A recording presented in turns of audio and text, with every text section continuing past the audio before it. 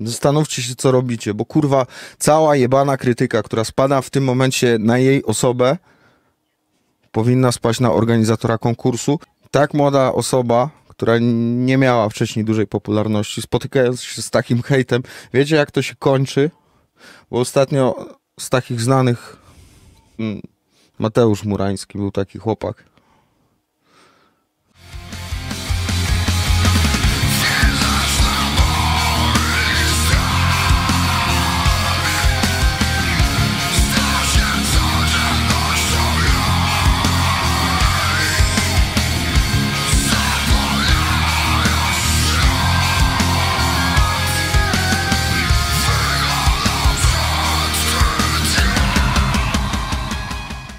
Siemano, kochani. Tu Gumiś i potęga wokalu. Ja mam jeszcze trochę czekolady i mam herbatkę. Z czekolady życie byłoby straszne. Mm. Wy też sobie zapatrzcie herbatkę. Dobra. Dzisiaj, kochani moi, pogadamy sobie o tym, bo ja tam słyszałem bardzo dużo takich mm, głosów takich rzeczy, takich mm, recenzji, nie wiem jak to nazwać, które znów poruszają temat Gosi Sacały. Ja nie ukryję swojej sympatii do Gosi. Ja ją bardzo lubię. Ona jest trenerką wokalną, która zauważa dużo bardzo fajnych rzeczy, których nie jeden trener wokalny nie zauważa. Poza tym ma piękną fryzurę. No kurde, to jest mistrzostwo świata. Ale nie o tym dzisiaj. E, e, uwielbiam jej włosy, tak. Różowe. To jest jedyny e, punkt różowy w całym moim życiu, który mi się podoba. Pasuje do niej po prostu. Słuchajcie, dzisiaj sobie zobaczymy o co chodzi w tym, bo ja dostałem takie głosy, że gość cała stwierdziła, że Blanka śpiewa czysto na Eurowizji, tak? Ja muszę to zobaczyć. Ja jeszcze tego nie widziałem. Znaczy, widziałem fragmenty tego odcinka, ale chyba tego nie obejrzałem do końca. E, nieważne. W każdym bądź razie sprawdzimy sobie. Mm, klimę trzeba wyłączyć. E, sprawdzimy sobie po prostu o co tutaj chodziło. No bo tam, moim zdaniem, tak jak widzieliście na mojej poprzedniej reakcji, Blanka fałszowała, szczególnie na początku swojego występu, po prostu była obok dźwięku i mm, jakieś tam ponoć wiadro znowu hejtu wylało się na Gosie, że ona stwierdziła, że Blanka śpiewa czysto. Dojechałem do tego momentu tego filmiku i obejrzymy to sobie razem, tak? 9 minut 10 sekund, start. Dlaczego tu jest taki duży problem w tej naszej Polsce? O co chodzi im? Dlaczego? Teraz Blanka. Okej. Dobra, to już chyba wiem o co chodzi. Słuchajcie, teraz jest pytanie zasadnicze, którego, które by trzeba skierować prosto do Gosi. Tak? Prosto do gości. Zapytajcie ją, bo nie wiem, czy ona by tam chciała mi odpisać, mimo tego, że znamy, poznaliśmy się prywatnie z Gosią. To pytanie do niej byłoby takie, czy ona zaczęła słuchać tego występu w tym konkretnym miejscu, czyli dopiero od refrenu. Bo jeżeli tak, bo jeżeli tak, bardzo ciężko zakwalifikować te dźwięki, które tu śpiewa Blanka jako fałsze. Bardzo ciężko to zrobić. Ok? Jeżeli weszlibyśmy w program, ja wam później pokażę, jak to na wykresie wygląda. Weszlibyśmy w program jakiś typu autotune, wavestune, jakiś do strojenia wokalu. To te wokale, które tutaj było w tym programie, byłyby w ramach normy. Ok? Refren jest zaśpiewany w miarę czysto. Jest w, powiedzmy w e, e, dopuszczalnych dla wokalisty ramach, tak? Najbardziej sfałszowany był początek tego występu, nie oszukujmy się. Później, jak Blanka się tam rozpędziła, to mimo błędów typowo e, emisyjnych, ona w dźwięki trafiała.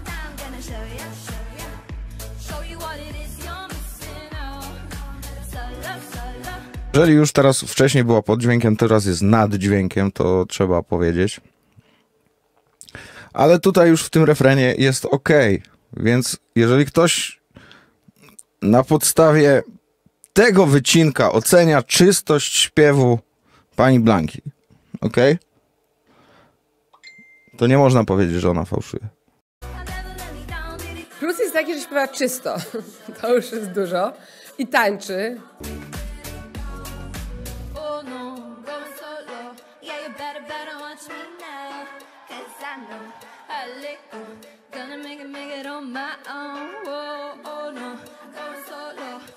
Dobra, i teraz jak słyszycie, przys- przysłuchacie dobrze, instrument grający w tle gra unisonowo linię melodyczną. Jest praktycznie idealnie zakryty przez wokal. To nam zwiastuje, że ten fragment jest, za, jest po prostu zaśpiewany czysto, jest zaśpiewany ok. Fałsze największe były wcześniej, tak? Były ewidentne fałsze i to takie grube, naprawdę grube. Dobrze? Więc teraz pytanie jest takie, czy Gosia tutaj mówi nieprawdę? Nie. Bo w tym fragmencie, który ona pokazała na swoim filmie, Blanka trafia w dźwięki. Nie jest to najlepsze emisyjnie, ale trafia w dźwięki, ok? I teraz pytanie, czy Gosia widziała cały występ i pominęła umyślnie te fragmenty fałszowane? Dlaczego by to miała robić? Czy po prostu dostała od swojego montażysty? Bo tak to niestety działa wśród dzisiejszych youtuberów. Ja sobie sam montuję filmy. Czy ona dostała od montażysty po prostu skrawek e, taką kompilację zrobioną z tych utworów i odsłuchała tylko tyle? Czy słuchała całe utwory i sama sobie tak to pociąła? No nie wiem, nie mam pojęcia, zapytajcie się jej, nie wiadomo.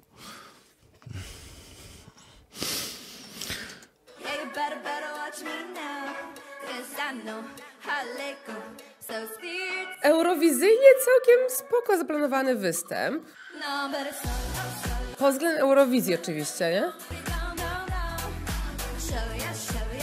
Wkręca się w głowę, więc spoko piosenka. Bardzo basicowa. No nie wolałam piosenkę Nataszy, lepsza niż Kuby, zupełnie inna niż Alicji, więc nie wiem teraz, bo to była na poziomie piosenki Alicji, że fajna, ale... Next please. Jan Majewski. No i tyle, tyle kochani z tego. Więc te, teraz no, ciężko powiedzieć o tym, że Gosia się pomyliła, że Gosia coś źle usłyszała, bo jeżeli faktycznie miała do dyspozycji tylko ten fragment, albo tylko ten fragment słuchała tej piosenki, może też nie miała czasu analizować każdego jednego występu od początku do końca, no to faktycznie ona nie pomyliła się tutaj, bo tu w tym krótkim fragmencie, który był, nie było fałszu. Po prostu. Już jest zupełnie inna kwestia. Natknąłem się taki artykuł, e, czy tam wywiad e, Blanki, że ona dostaje nawet groźby śmierci e, od jakichś chorych psychicznie ludzi, bo to inaczej nie można nazwać. Słuchajcie, zastanówcie się teraz, bo jakby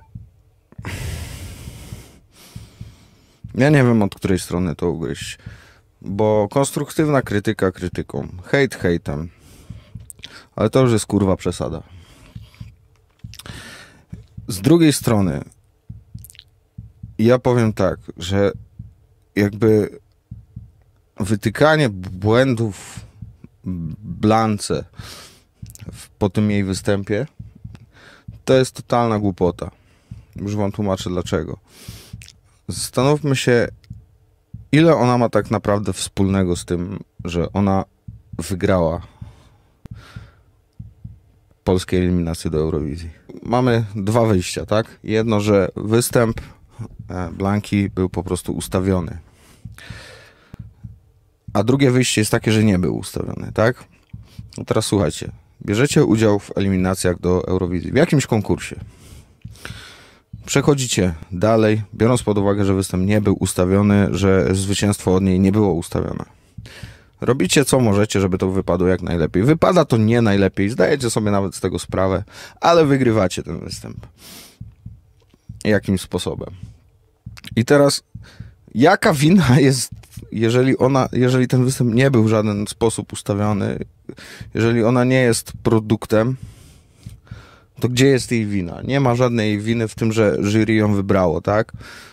I cała fala hejtu z jej osoby powinna być przełożona na mm, jury, na telewizję polską, na organizatora owego konkursu. Pierwsza kwestia. Druga kwestia. Jeżeli jesteście młodym artystą przychodzi do was personifikując jakiś smutny pan w czarnym garniturze i mówi wam tak: Zrobisz taką i taką piosenkę. I ta piosenka zostanie wybrana jako polska mm, piosenka do Eurowizji. Musisz to zrobić tak i tak. Musisz to zrobić w taki i taki sposób, tak cię ubierzemy. Piosenka będzie miała takie słowa, tak ją zaśpiewasz. I ona to robi. Wygrywa tę eliminację. To pomyślcie, czy to, to jest ukartowany plan od niej? Nie. Więc w dalszym ciągu cały hejt, który na nią spada, cała krytyka, która na nią spada, powinna zostać przeniesiona na organizatora konkursu, który wypaczył wyniki. Tak? Dajcie jej spokój, naprawdę. Bo tak młoda osoba, która nie miała wcześniej dużej popularności, spotykając się z takim hejtem, wiecie jak to się kończy? Bo ostatnio z takich znanych e, osobistości, powiedzmy sobie, ja e, przytoczę tylko pan Mateusz Murański, był taki chłopak, który też poszedł w ten świat, który zetknął się z taką falą hejtu, dziś go nie ma między nami. Zastanówcie się, co robicie, bo kurwa, cała jebana krytyka, która spada w tym momencie na jej osobę, powinna spaść na organizatora konkursu, niezależnie od tego, czy wyniki zostały e, wypaczone, czy nie. Niezależnie od tego, czy e, faktycznie jury ją wybrało, czy było to ustawione. Niezależnie od tego, cała fala krytyki powinna spaść na organizatora polskiej Eurowizji. Nie na nią, bo ona nie jest temu kurwa winna. Rozumiecie? Tyle ode mnie, gumiś. Potęga wokalu. Siema.